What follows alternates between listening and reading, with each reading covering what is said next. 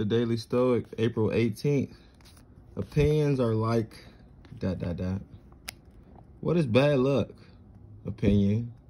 What are conflict, dispute, blame, accusation, irreverence, and frivolity? They are all opinions, and more and more than that, they are opinions that lie outside of our own reasoned choice, presented as if they were good or evil. Let a person shift their opinions only to what belongs in the field of their own choice, and I guarantee that person will have peace of mind, whatever is happening around them. Epictetus Discourses. I gotta get that discourses. He's spitting them bars.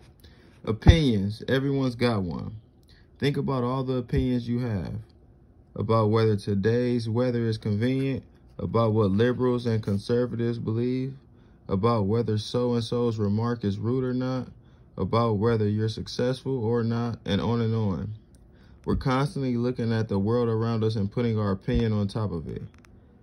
And our opinion is often shaped by dogma, religious or cultural, entitlements, expectations, and in some cases, ignorance. A lot of our opinions are based on the lack of reason rather than reason. Traditionalists, I must say. No wonder we feel upset and angry so often. But what if we let these opinions go?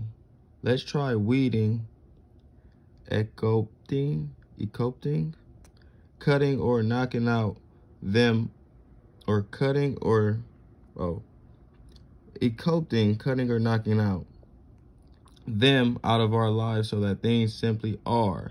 Not good or bad, not colored with opinion or judgment, just are.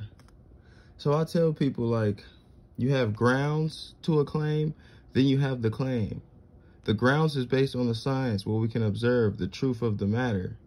But the claim is our subjective take from the grounds. So oftentimes opinions, they can come with grounds, which I can respect, but then some opinions don't have no grounds to them. Oh, well, this is how I grew up. We always grew up doing such and such, so we think it's right. That's your opinion, but that ain't got no grounds to it. Whether or not you have bad luck is an opinion. Whether or not something is disrespectful is an opinion. Believe it or not. When you get in the realm of facticity, you realize how much of the things that we claim or that we say to be true are opinionated. If we relinquish this, or if we at least acknowledge the fact that it is an opinion, we will have better discernment, better judgment, tomato, tomato, and we will be better equipped to deal with somebody else's opinion, knowing that it's not grounded like the truth or a fact. So yeah, man, opinions are like what they say, a-holes. So who gives a ish? April 18th. This is a good one. High.